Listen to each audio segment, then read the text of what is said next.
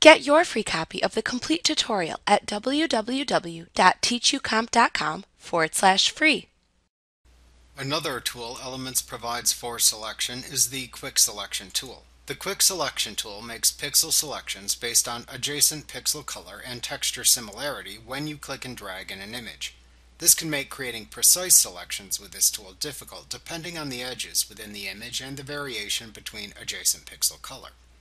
This tool shares a button within the Select button group in the toolbox with the Magic Wand tool, Selection Brush tool, Auto Selection, and the Refine Selection Brush tool.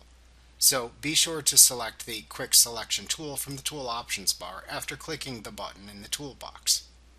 After you select the Quick Selection tool in the toolbox and if needed the Tool Options bar, then set the options for this tool in the Tool Options bar.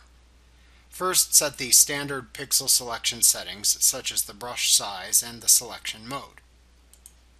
The modes for this tool are New Selection, Add to Selection, or Subtract from Selection.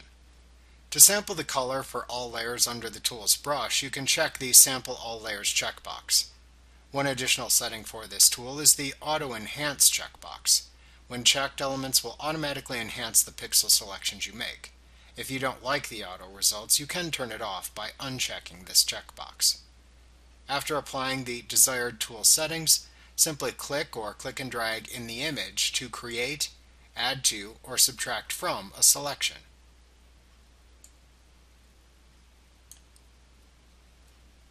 Like what you see? Pick up your free copy of the complete tutorial at www.teachucomp.com forward slash free.